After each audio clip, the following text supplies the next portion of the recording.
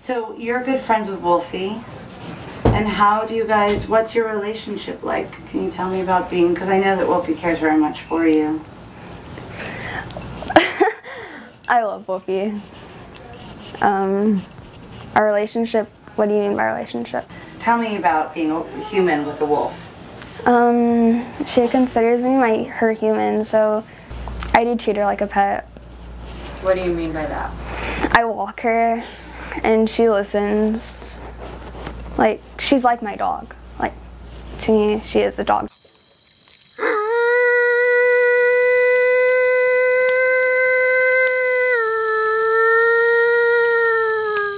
Every Saturday, all the kids go to the mall, and those are the mall wolves. And my sister started first, and she started wearing a tail and all that for Wolfie. And I don't do it normally, but for Wolfie, I would do it any day. Since Wolfie's kind of told me, you're officially in the pack now, you're officially part of our family.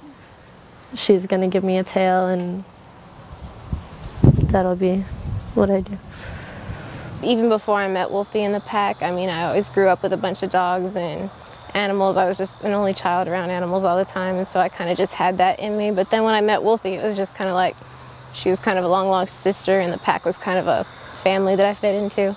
I'm a werewolf in the sense that I guess it's kind of a spirit more than anything. Like, we're not kind of bound by human rules or thoughts. Wolfie is probably one of the most interesting people I've ever met. She's smart and funny and she's just a leader of something that she kind of created and it's just taken off because I guess there's a lot of people that feel like they need a family. Hi, I'm Wolfie Blackheart. I'm 18 and from San Antonio, Texas.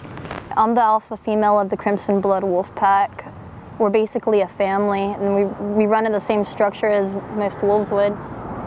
Uh, a lot of my family is Blackfoot Native American, and uh, I, have known I was a wolf since a really young age. Well, I had a big following because I usually go to the conventions and I meet a lot of people, and um, I, I, had got accused of killing and beheading a dog. I did behead him, I didn't kill him. He was my friend, his name was Shadow, and uh, he got hit by a car and they brought his corpse to me, and they asked me to get his skull, so I did, but the owner's girlfriend took a picture of him and uh, they put it online and that's what caused all the fuss.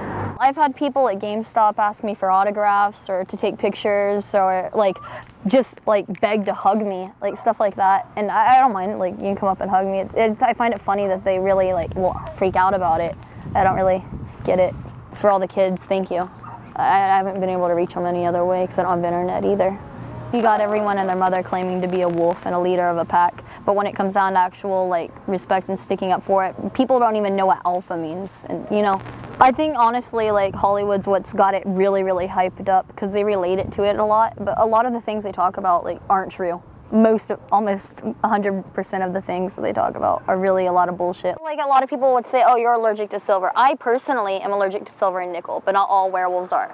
Like it's an individualistic thing. Like someone can be allergic to flowers, you know. Um, we don't it, you don't change into a furry, bloodthirsty beast on the full moon. I try to set a good example. I really do. I do make mistakes. We all do. I, I have, I love humans. I like girls, human girls. Like, I like being told what to do.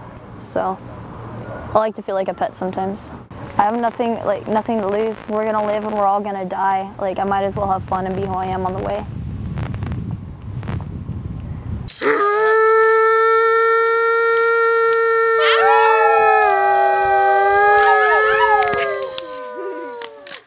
Yes, my dad is a wolf.